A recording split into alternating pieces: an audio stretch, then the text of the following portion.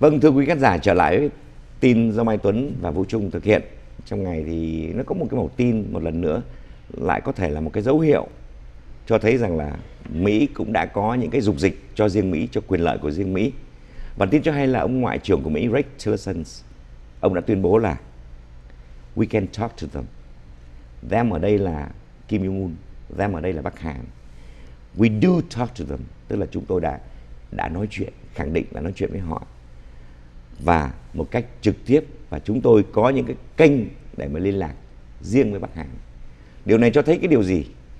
Thứ nhất nó phản ngược lại tất cả những cái mà Hoa Kỳ mà Bắc Hàn trước đây đã muốn ngồi riêng với Mỹ để bàn thảo về những cái rắc rối diễn ra trên bán đảo Triều Tiên. Hoa Kỳ chỉ đồng ý ngồi với là các nước chẳng hạn như Nhật, Bắc à, Nam Hàn Ờ, và Mỹ.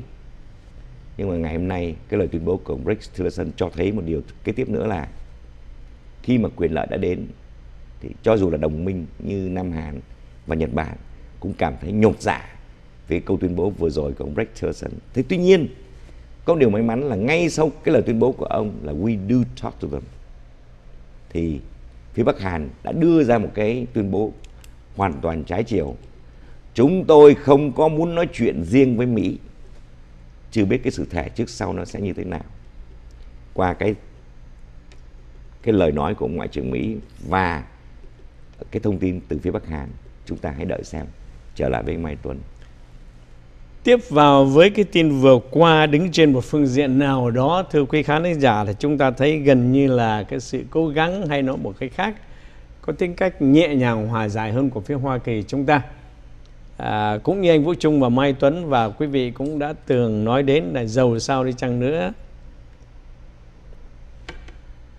Là Hoa Kỳ đều có những cái chính sách cứng nhưng mà vẫn mềm.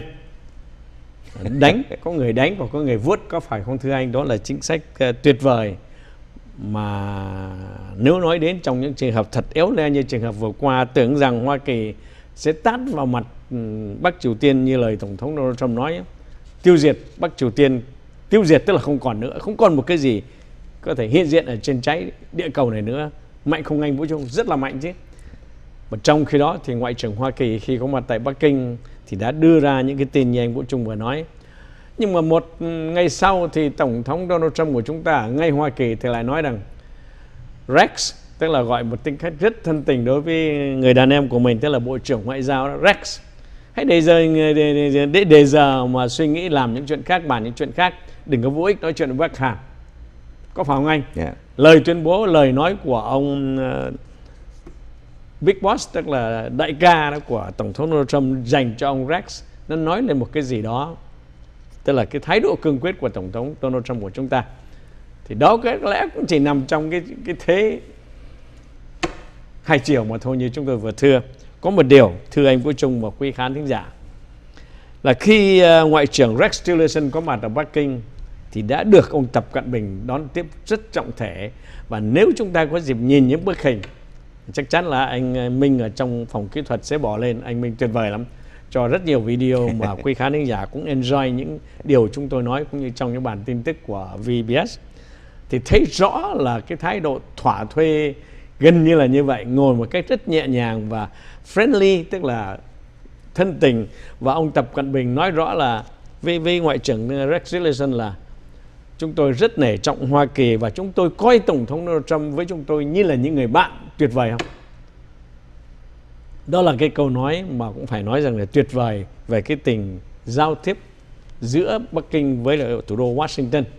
Và chúng ta biết là trước đấy một vài tuần lễ thì Tổng thống Donald Trump cũng gay gắt với Tập Cận Bình lắm, nói riêng và với chính quyền Bắc Kinh nhiều lắm.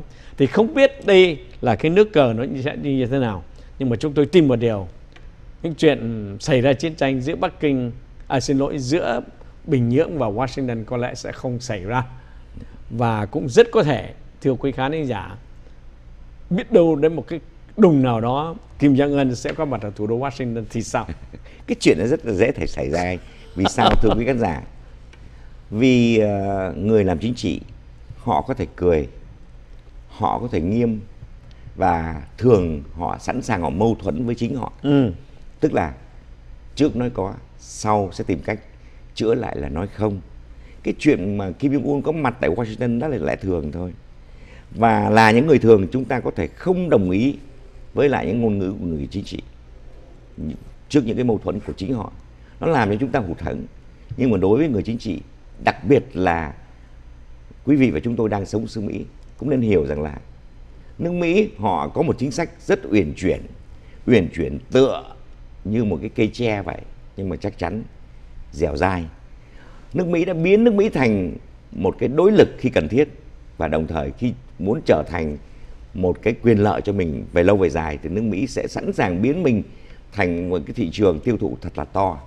Và cái thị trường tiêu thụ thật là to này để mà lôi kéo đồng minh để mà tạo điều kiện cho những cái đất nước mà nước Mỹ muốn với tay với à, cung cấp hàng hóa vào thị trường nước Mỹ. Chịu thua thiệt đi một ít vì mất ăn công ăn việc làm và hãng xưởng ở Mỹ nhưng mà ngược lại Mỹ đạt được những cái nhu cầu những cái yêu cầu cao hơn. Cái sự uyển chuyển đó là cái bực mình về phía này nhưng mà lại được việc phía kia trong đó có vài trăm triệu con dân của nước Hoa Kỳ chúng ta không nên tự tự buồn hoặc là tự mâu thuẫn khi đòi hỏi phải có một cái tiêu chuẩn mà không thích một cái nước Mỹ luôn luôn sử dụng gọi cái tiêu chuẩn gọi tiêu chuẩn kép như thế này. À, lúc nó có lúc nó không. Nhưng cứ nghĩ như thế này thì để mà vui. Dạ. Đó là nước Mỹ. Đó là nước Mỹ. Khi Mai Tuấn nói rằng biết đâu một ngày nào đó Kim Jong Un sẽ có mặt ở tại thủ đô Washington. Anh Vũ Trung đồng thuyền với Mai Tuấn nói rằng chuyện đó very possible. Thưa quý vị rất có thể. Và đồng ý với sự cắt nghĩa trình bày của anh về cái chuyện không phải là chúng ta không tin nhưng mà chúng ta nên hiểu cho những lời nói của những vị lãnh tụ của các quốc gia đặc biệt là các quốc gia siêu cường. Đối với Washington nói riêng và cả thế giới bây giờ nói chung có lẽ hồ sơ Bắc Hàn nóng nhất hơn các hồ sơ nào khác và cái chuyện Washington sẵn sàng có thể hy sinh không phải vài trăm triệu. Em Vũ Trung nói đến vừa qua nhưng mà Mai Tuấn có thể nói là vài chục triệu và có thể cả ngàn tỷ Mỹ Kim cũng vẫn còn Washington có thể làm được. Và đó là cái điều mà Mai Tuấn nói rằng Kim Jong Un sẽ gật cù. Bởi vì cái chuyện mà Kim Jong Un làm mạnh như kỳ vừa qua chắc chắn là có bàn tay số 7 nào đó của hoặc là của Nga hoặc là của Trung Cộng và cái mục đích chính của Kim Jong Un là đưa cái tự ái dân tộc về cái tự ái của anh ta khi đến Washington hay ngồi vào bàn nói chuyện với Washington thì có nghĩa là anh ta đã đạt được cái tự ái dân tộc đã đạt được cái, cái siêu cường trên hình thức nào đó rồi. Ít nhất là về phương diện bề ngoài có phải anh Vũ Trung? Anh ta đạt được. Và đồng thời lại được hưởng một món quà vĩ đại của Washington. Chúng mày cần bao nhiêu để tiến lên ngang hàng với Nam Hàn và có thể hơn Nam Hàn đó đại ca của chúng ta tức là Hoa Kỳ sẵn sàng để bỏ tiền ra. Miễn là chúng mày nên có những điều kiện như thế này thế này. Thưa anh có thể đúng như vậy không? Rất dạ, có thể. dạ đúng anh. Nó có phần khác biệt cũng nên bổ túc ở đây là này.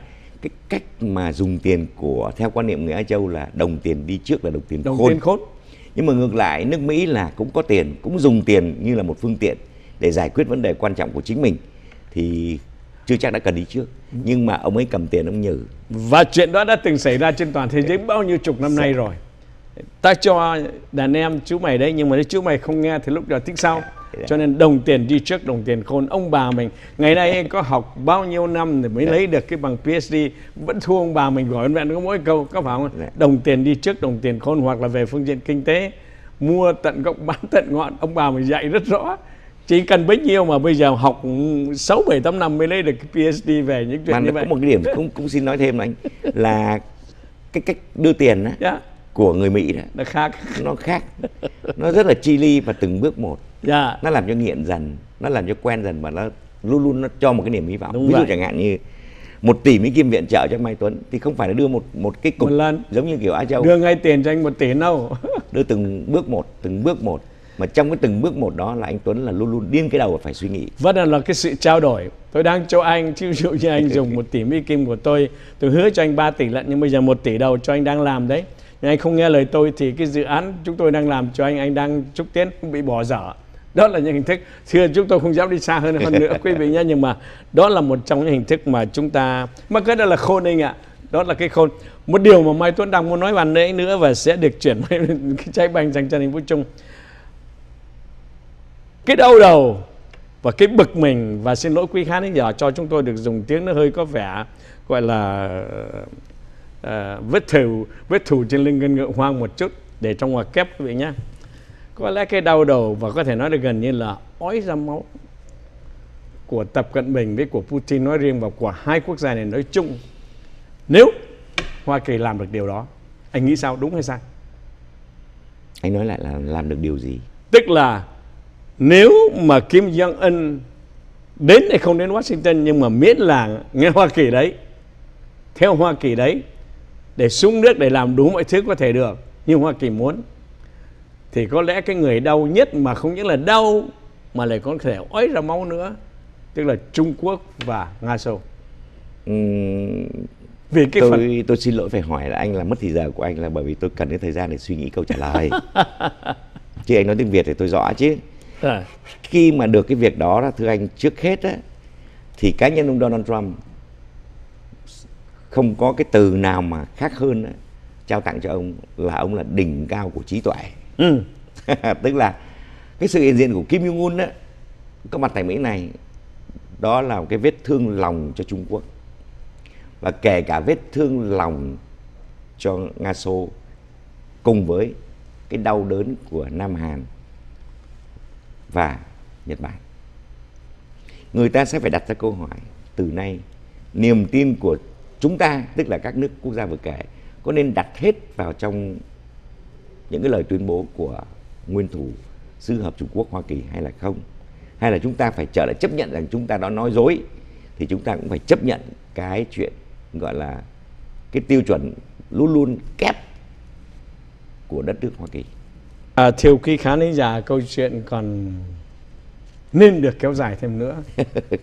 nhưng mà bởi vì những chương trình của VBS không cho phép. Nhưng mà quý vị cứ yên, yên tâm là tôi với anh Mai Tuấn không phải là người làm chính trị cho nên quý vị đừng kỳ vọng là chúng tôi sẽ áp dụng cái chính sách là nói tin thông tin là hoài vốn tức là luôn luôn có những cái chuẩn mực gọi là kép mà khiến cho quý vị phật lòng kính chúc quý vị thật nhiều sự bình an và mời quý vị đừng quên chương trình đấu giá chiều hôm nay quý vị hôm nay là chiều thứ ba, từ 5 giờ tới 7 giờ, với công ty Alexei của Lâm Triều Vĩ. Dĩ nhiên, mời quý vị trở lại với chúng tôi ngày mai thứ tư, thưa quý khán giả.